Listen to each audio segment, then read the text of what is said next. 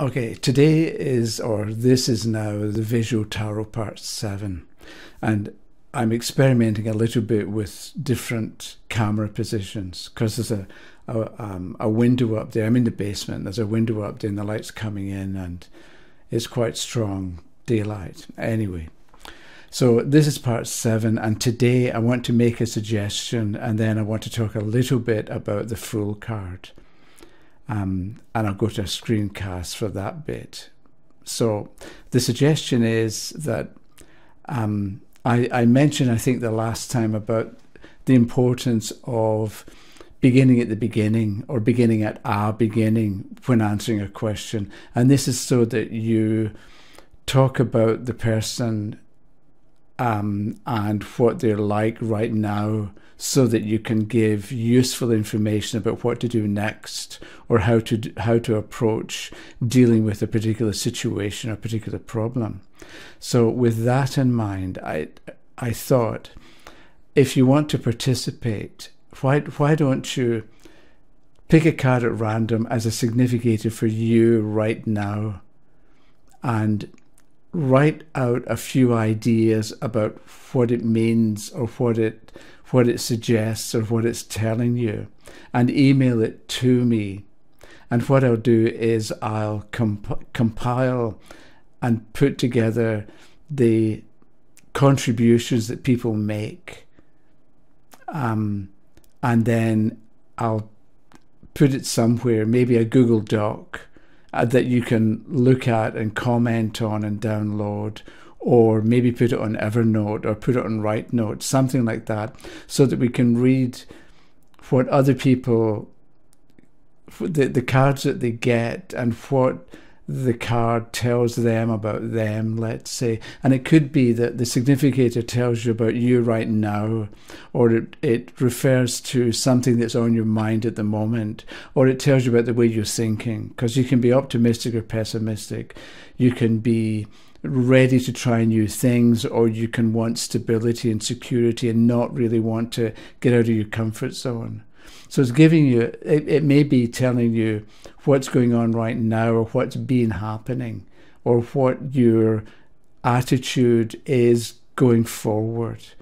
And so I think it would be quite useful and interesting to see if you were to pick a card for you um, and then write a few lines or a few sentences about what it means to you or what you think it's saying, and then I can we can put it somewhere and other people can read it and maybe they have comments um, that can add to or take away from what you've said. But it can also be that they would then have something to work with if that same card comes up for them or for in, in, in a reading that they do for somebody else.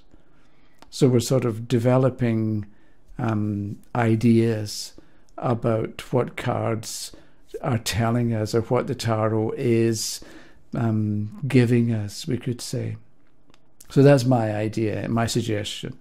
So if you want to play along, um, pick a card, write something about it.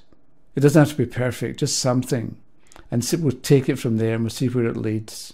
And um, I'll let you know next time um, about where you can find the different contributions that people make. I'm not quite sure how I'll do this, but um, we'll figure something out. Okay, thanks for watching for this. And then we're going to go and look at a couple of simple points about the Fool card. Okay, so I'll see you in a couple of days. Okay, bye bye. Okay, th- this is a couple of little points about the Fool card. And it began a couple of days ago. I heard this expression. Um, it was in a video I was watching, and I had never heard this before. And it's Italian, and it's salto. There it is, salto mortale. And mortale is obviously mortal, but salto is, I guess, it's a verb that means to fall.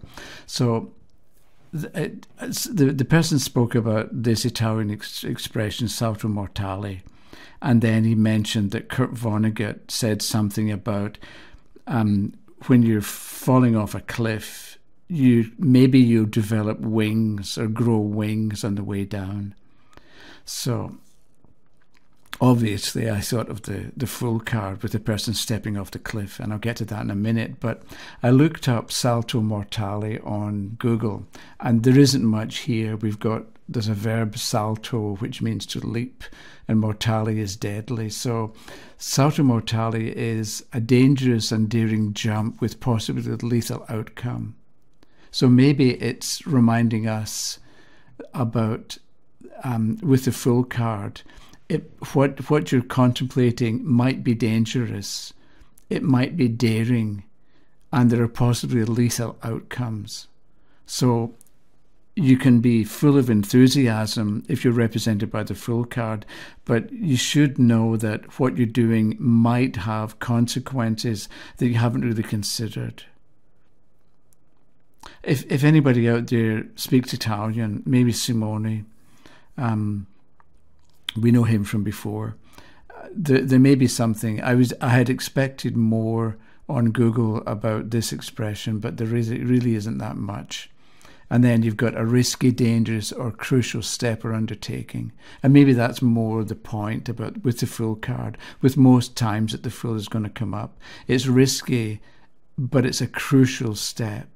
And it, it, it can be an indication that when the Fool comes up, it's important to do what it is that you want to do or to try what has been offered or presented to you. So that's something about salto mortale. The other thing is Kurt Vonnegut. And the quote is here We have to continually be jumping off cliffs and developing our wings on the way down, which I think is really interesting for the Fool card. Uh, so let me let me um, skip to RightNote here. So what I did was I added another um, section for the Fool over here and I've imported the, the Fool card. So we can see that the fool is walking down and is about to step off the cliff. So I've got two notes for this, Salto Mortale and then Kurt Vonnegut. We have to continually be jumping off cliffs and developing our wings on the way down. So I made here a note that Kurt Vonnegut happens to be a Scorpio. So maybe we would be considering or adding to our armory or um, or weapons that may, maybe this the the attitude that of having to continually be jumping off cliffs is a kind of thing that would appeal to a Scorpio.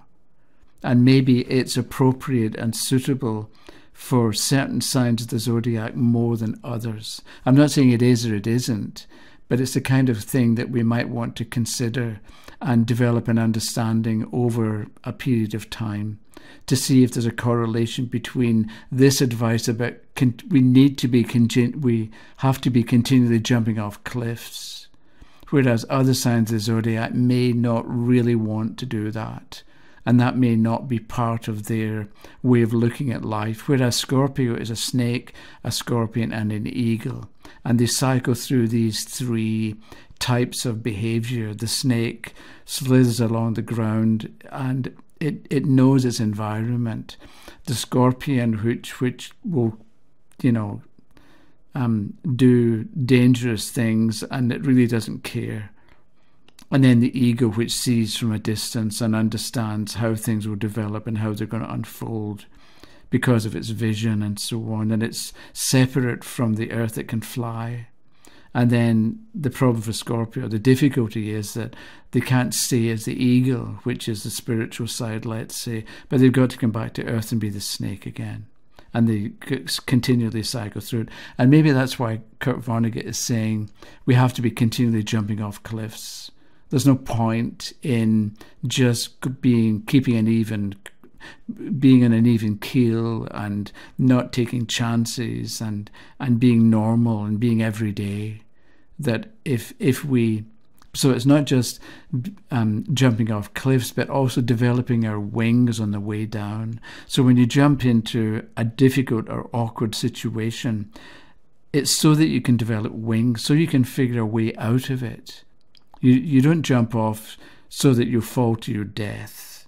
You jump off so that you maybe put yourself in an extreme situation where you're forced to develop wings, and the wings can represent developing the ability to solve the problem or developing a facility or um, a technique or a tool that enables you to rise up or to escape or to turn a difficult situation into one that's more peaceful or more refined, let's say.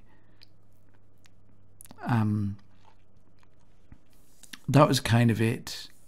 A couple of things to think about with the Fool card. So I'm I'm thinking I'm aware that maybe I go on for too long and the videos are too long. So I'm going to try a shorter one today. So that's it, and I'll talk to you in a couple of days. Okay, bye bye.